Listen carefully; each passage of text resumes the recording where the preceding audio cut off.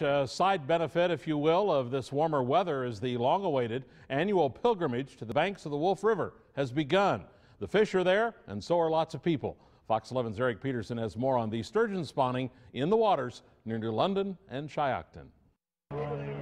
People line the banks to catch a glimpse of the underwater giants. Bruce Conrad says he's impressed. I'm just awestruck.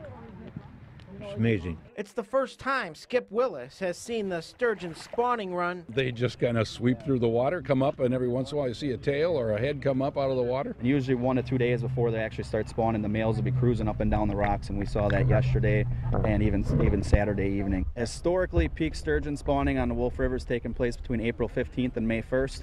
With it being a little bit behind the average year for spawning, I anticipate we're going to have a short, intense spawning season. Crews spent the morning netting fish by hand.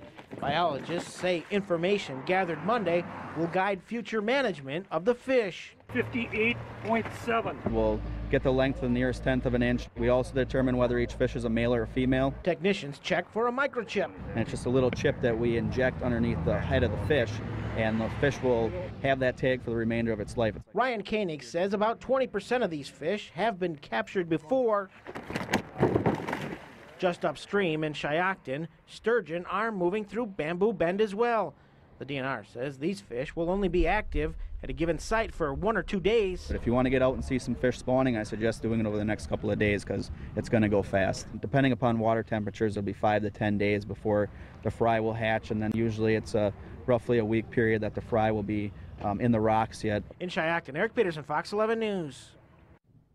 A link to information about where the sturgeon are, plus more information from the DNR, is available online in the Newslink section of fox11online.com.